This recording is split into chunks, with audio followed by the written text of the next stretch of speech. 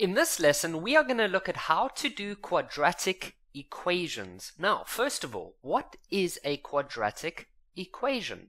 Let me first show you what is not a quadratic equation.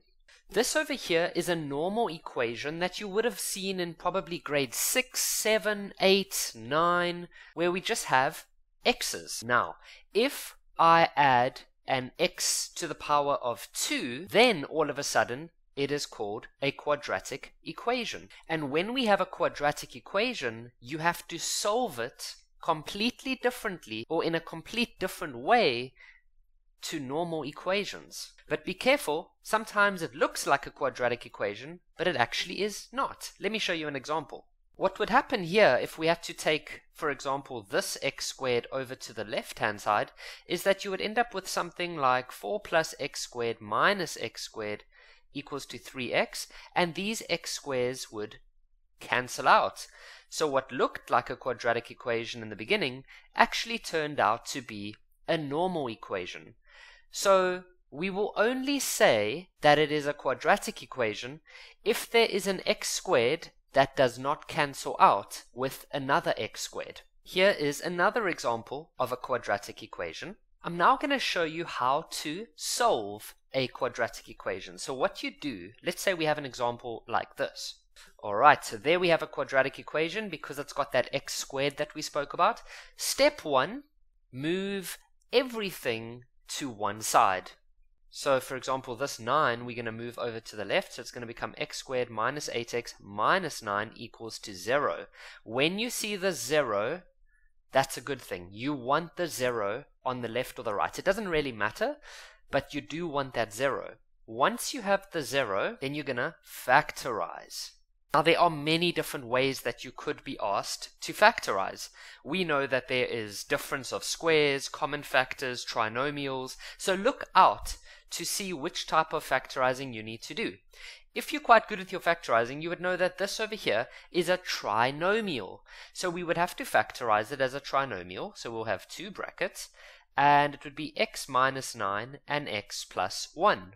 What you now do when you've got these brackets is you say x minus 9 must be equal to 0, or x plus 1 must be equal to 0, and then you go and you solve each of those. So this one here would be that x equals to 9, or, and this one would say that x is equal to minus 1. Now we are going to have a look at four examples. For the first example, we know that it's quadratic because it's got that x squared and it's not going to cancel out. So remember, step one, get everything to one side. So I'm going to say x squared minus 3x. I'm going to bring the 4 over. There we go. Now I've got the 0. The 0 is good. What we now do is we factorize. This is a trinomial. So it's going to be x minus 4 and x plus 1. I then say x minus 4 is equal to 0 or x plus 1 is equal to 0. This then gives me x is equal to 4 or x is equal to negative 1. Here's number 2. We already have the 0, so that's step 1 complete. Now we factorize. Remember, it's not always going to be a trinomial. This is actually a difference of squares. So we open up two brackets where it'll be x minus 2 and x plus 2. Remember, that's how difference of squares work. And so we're going to end up with x is equal to 2 or x is equal to negative 2. Actually, I skipped a step there. I do apologize. I should say, to be more, or the more structured approach is to say x minus 2 is equal to 0 or x plus 2 is equal to 0. You then see that x is equal to 2 or x is equal to negative 2. In question 3, we've already got the 0, so then we can factorize. This over here is a trinomial, so we open up our two brackets, and we get x minus 8, x plus 1. We then say x minus 8 is equal to 0, or x plus 1 is equal to 0. This then means that x is equal to 8, or x is equal to negative 1. And our last example, this is definitely quadratic because it's got this x squared. So what we do is we make the 0 first. So we take everything to the one side, like that.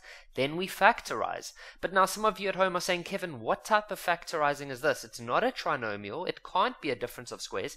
Ah, but guys, this is actually a common factor. You can take out an x. So if you take out an x, you would be left with x minus 3 in the bracket.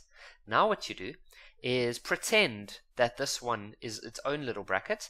So then you can say x is equal to 0 or x minus 3 is equal to 0. And so this one already is simplified. So we'll just say x is equal to 0 or x is equal to